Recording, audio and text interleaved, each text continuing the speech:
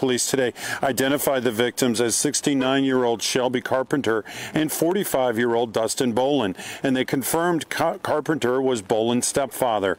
They also lived right across the street from each other here on Wells Street.